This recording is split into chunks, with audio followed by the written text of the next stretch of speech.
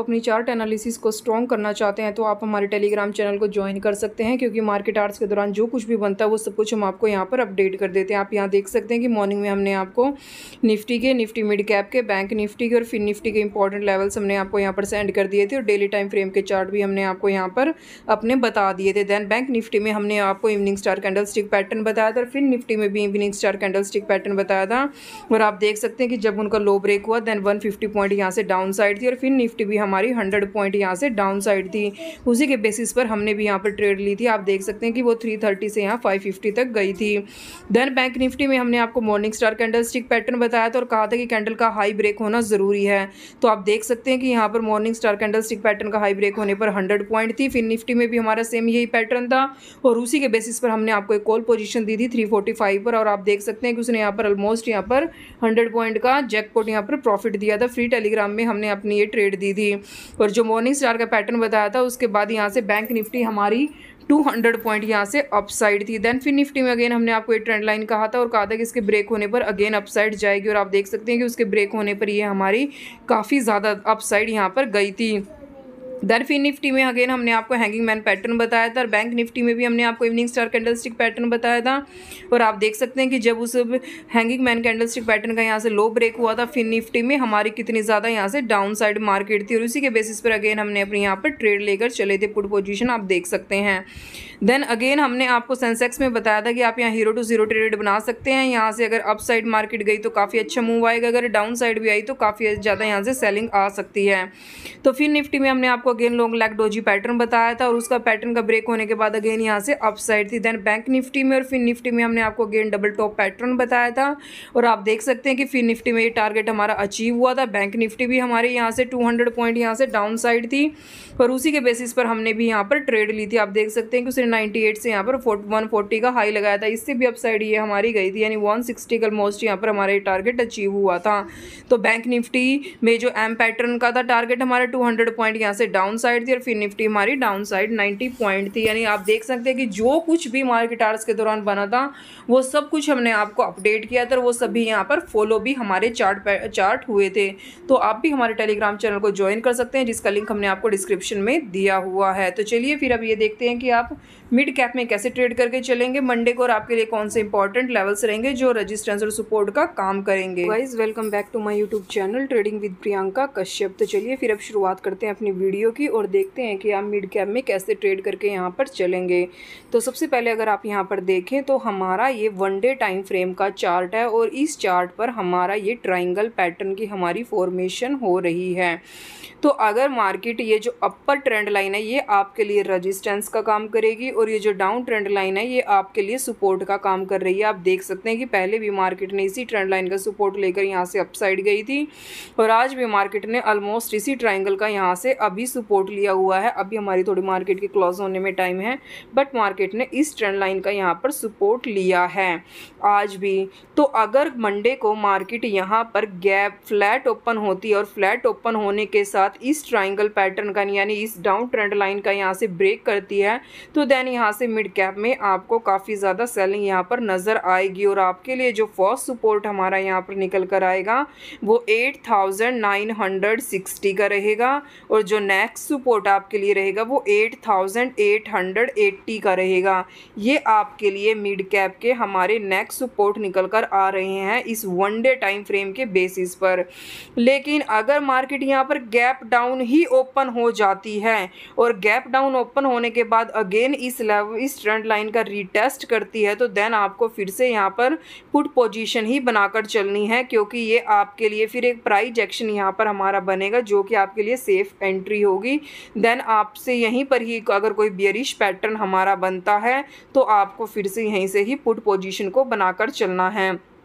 लेकिन अगर यहाँ पर फ्लैट ओपन हो जाती है और फ्लैट ओपन होने के साथ इसी का ही यहाँ से सपोर्ट ले लेती है या आज के हाई को ब्रेक कर देती है तो आपको यहाँ से डेफिनेटली कॉल पोजीशन को बनाकर चलना है और आपका जो नेक्स्ट टारगेट रहेगा वो nine thousand one hundred sixty का रहेगा। आई होप आपको समझ में आ गया होगा कि आप इस ट्राइंगल पैटर्न के बेसिस पर कैसे मंडे को ट्रेड लेकर चलेंगे।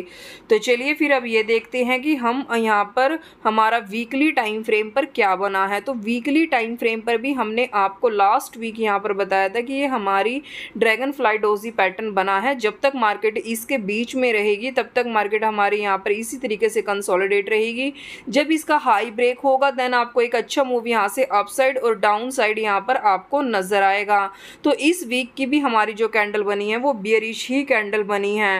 तो अगर अब हम यहाँ पर फोर हार के टाइम फ्रेम पर जाकर देखें तो फोर हार के टाइम फ्रेम पर भी आप यहाँ पर देख सकते हैं कि जो मिड कैप निफ्टी है, वो हमारी डाउन ट्रेंड में यहाँ पर ट्रेड कर रही है।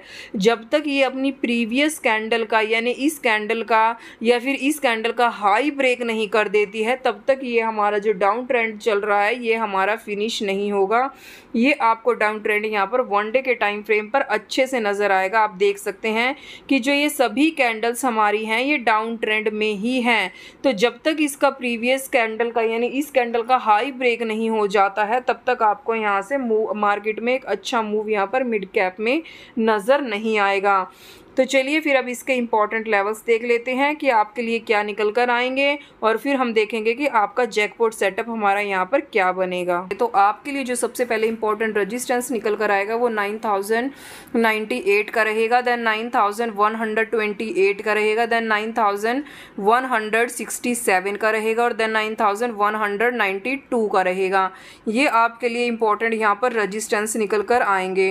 अगर हम यहाँ पर अपने सपोर्ट की बात करें तो आप आपके लिए जो यहाँ पर इंपॉर्टेंट सपोर्ट रहेगा वो नाइन थाउज़ेंड थर्टी नाइन का रहेगा, जो कि आज की मार्केट का यहाँ पर मार्केट ने यहाँ पर बहुत बार सपोर्ट लिया है। तो उसके बाद जो हमारे लिए सपोर्ट रहेगा वो eight thousand nine hundred ninety का रहेगा और then eight thousand nine hundred thirty का रहेगा। ये आपके लिए इम्पोर्ट यहाँ इंपॉर्टेंट यहाँ पर सपोर्ट निकल कर आ रहे हैं। अगर ऑप्शन चेन के डाटा की बात करें तो आपके लिए जो सबसे ज़्यादा स्ट्रॉन्ग हमारे लिए सपोर्ट है, वो हमारा रहेगा नाइन थाउज़ेंड और आपके लिए जो सबसे स्ट्रॉन्ग रजिस्टेंस है, वो रहेगा nine thousand one hundred fifty यानी जो ये रेंज हमारी है, ये आपके लिए सबसे ज़्यादा यहाँ पर मार्केट में इंपॉर्टेंट रेंज रहेगी। अब बात करते हैं कि आपको यहाँ पर ट्रेड कैसे लेकर चलना है।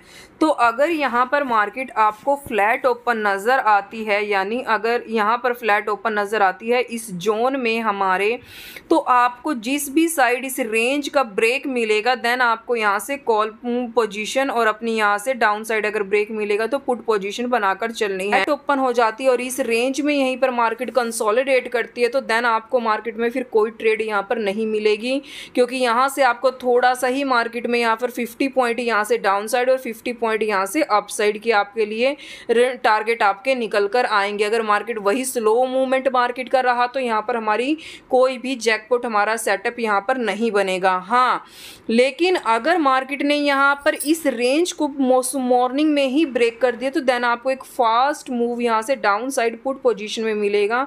और देन वो जो हमारे टारगेट को लेकर आएगा, वो हमारे यहाँ पर सबसे ज़्यादा eight thousand eight hundred eighty तक यहाँ पर आपको मार्केट डाउन साइड नज़र आएगी।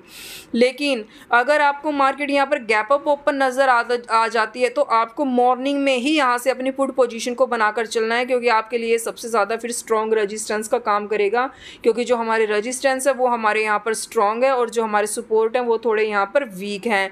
तो अगर यहाँ पर मार्केट थोड़ी भी गैप अप आपको मिलती है तो यहीं से आपको अपनी पुट पोजिशन को मॉर्निंग में ही बनाकर चलना है तो आपका यहाँ से मॉर्निंग में ही जैकपुट आपका सेटअप बन जाएगा।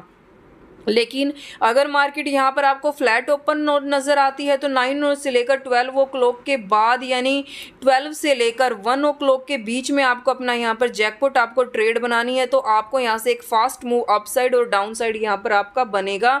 अगर यहाँ पर मार्केट फ्लैट ओपन रहती है नाइन से लेकर ट्वेल्व ओ क्लॉक के बीच में तो आपको फिफ्टी पॉइंट का अप साइड रजिस्टर टारगेट मिलेगा और फिफ्टी पॉइंट का आपको डाउन साइड टारगेट मिलेगा। आई होप आपको वीडियो अच्छी लगी हो, इन्फॉर्मेटिव लगी हो तो please subscribe my YouTube channel क्योंकि हम अपने टेलीग्राम चैनल पर भी आपको ये सब कुछ अपडेट कर ही देंगे। तो आप हमारे टेलीग्राम चैनल को भी ज्वाइन कर सकते हैं, जिसका लिंक हमने आपको डिस्क्रिप्शन में दिया हुआ है। Thank you